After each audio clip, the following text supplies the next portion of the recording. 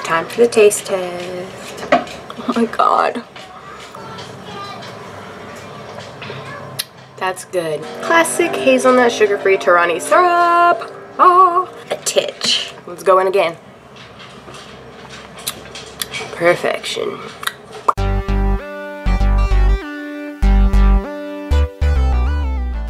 Hey guys, I kind of just wanted to go over this with you. It's kind of self-explanatory, but right here I have um, powdered erythritol and cinnamon in a bag. You can use a bowl. It's probably better with a bowl and a lid, just saying, because this can pop holes in your bag shake it up, your pork rinds. And I did try to do this in the microwave and it was a total fail, so I just transferred it over to a cookie sheet and I used my oven. So just set it at 300, 350 degrees, whatever's gonna melt the uh, sweetener on the outside.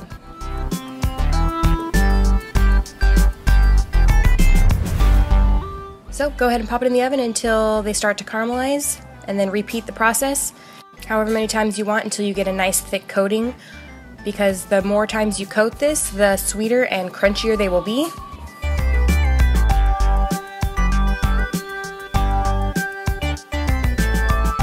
I think I did mine three times and they turned out really great and they'll be a little soft so you're going to want to let them cool on a plate or on the counter or whatever so they can harden up.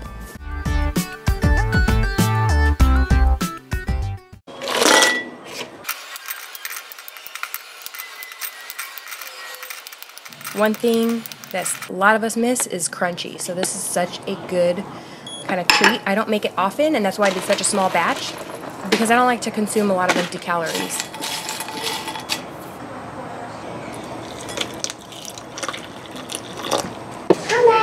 Good job, baby. Alright guys, so there you have it, some keto cereal. There's not much um, as far as nutrients go in this except for in the hemp seeds and that hold hemp hearts that I added at the end. Um, this protein that's in uh, pork rinds really shouldn't even be counted because it's not really a good source of protein. So whenever I do that, I just try not to eat a whole lot of pork rinds, to be honest with you, because there's really no nutrients in them other than being able to make awesome things with it. So this is going to be my cereal, and I'm going to finish my coffee. But yeah, if you like Cinnamon Toast Crunch or anything like that, this will save you. Huh, baby girl? We like pork rind cereal, even though it sounds totally gross.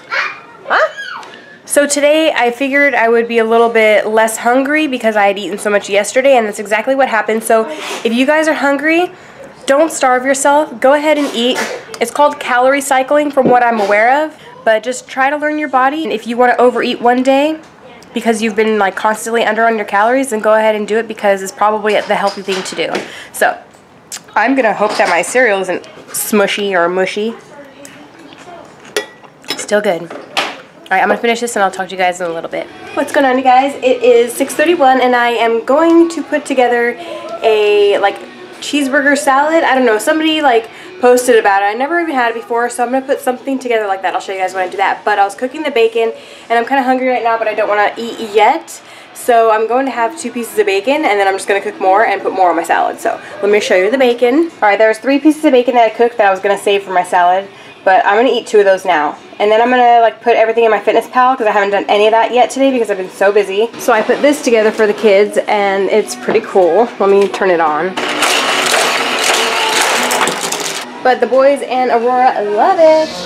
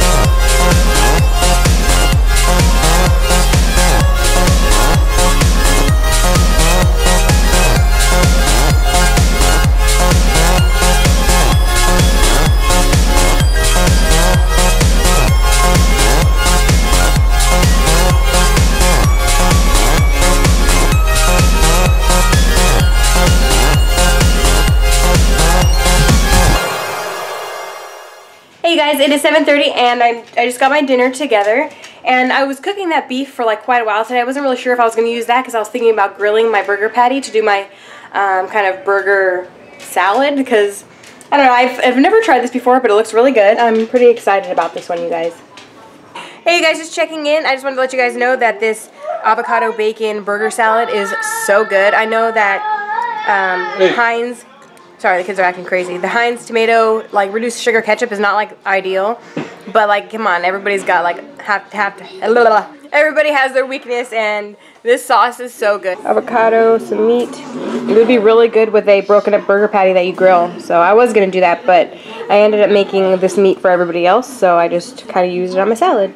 So it turned out really good. So babe. yeah, so that was good. Oh yeah, and this um, big old masterpiece is on top of my dining room table just because I needed it off the floor and that was the only place it could go. Anyway, there was my food and it was amazing. And here's still my coffee from earlier and tea. Iced tea, iced black tea. You can't even really tell because the lighting here's crazy.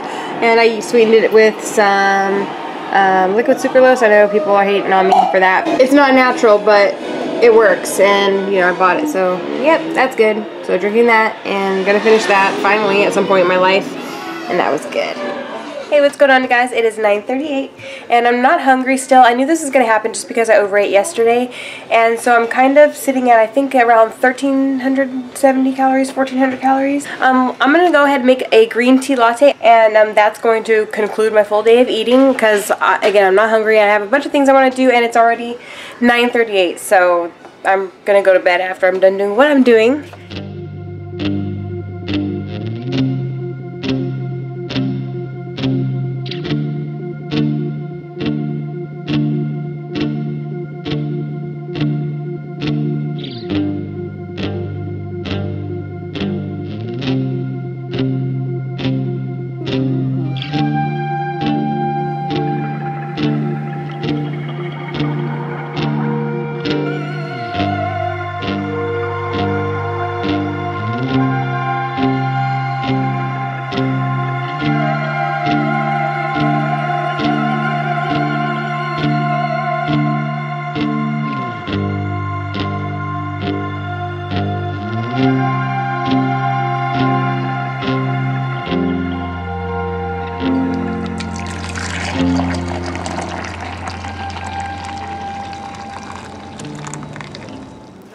I'm definitely not hungry.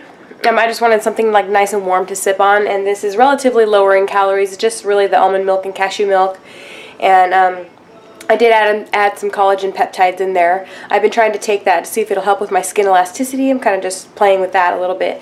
But I'm going to go over my macros with you guys. It's kind of all over the place, but I'm just going to give you like an overview because I want to show you guys that I did enter everything into my fitness pal and show you what my calories are for the day and my macros and such. So let me go ahead and show you that right now. Okay, so this is for the day. I have my coffee this morning that you guys saw. It had that tiny bit of butter in it, the coffee cashew milk, and I don't count my sweetener. And then I also had another coffee uh, later on in the day because I wasn't hungry still, but I still wanted some coffee to get myself through. And plus, they were um, smaller coffees than I normally would have. And then I had my Chicharrone Cinnamon Toast Crunch cereal with the whole hemp seeds in there. And then I remember having bacon, so let's find that. There's the thin cut bacon that I had, two pieces of that.